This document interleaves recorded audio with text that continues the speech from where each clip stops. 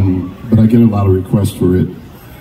And uh, I'm going to dedicate this to all of you here. This is called Noah's Ark. Pun intended.